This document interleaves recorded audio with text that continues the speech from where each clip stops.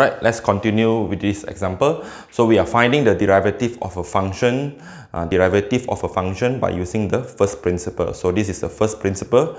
So then now for this function, I have to use the first principle in finding the, uh, the derivative. So now, so to finding the derivative, you know that you have to know the x plus h, the function x plus h. So I'm going to replace the x with x plus h. Uh, just uh, we see the needs of the formula that we need x plus h, fx plus h.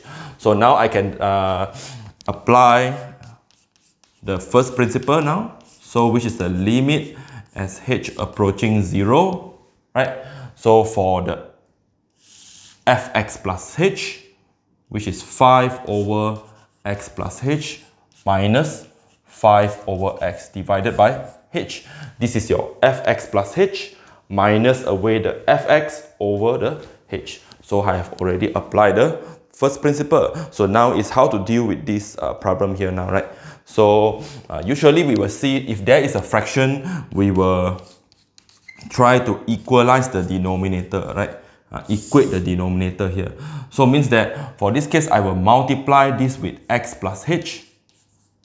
And this also multiply with x plus h. Whereas for this one, you have to multiply with x, multiply with x here. So then I will have the common denominator, which will be x, x plus h, right? So now on top, we have 5x, uh, we have 5x minus with 5 bracket x plus h, you, x, you can expand, you become negative 5x, negative 5x, negative 5h, right? uh, negative 5h. So divided by h. So this is after I simplify. So now let's continue, see what, uh, how to simplify. So equals to limits of h approaching 0. So now on top here, now you have uh, 5x, 5x, uh, you cancel out, you're getting 0. So you have negative 5h. So you have negative 5h divided by x, x plus h over with h, right? Uh, so I can rewrite this fraction, I can rewrite this fraction to be uh, negative 5h. Uh, divide this and divide this again. So you have h x x plus h here, right? So I can divide this fraction divide by this. So means that, for example, if I have 2 over 3 divided by 2, for example, right? So what I do, I will multiply uh, 3 on top here. I also multiply 3 here.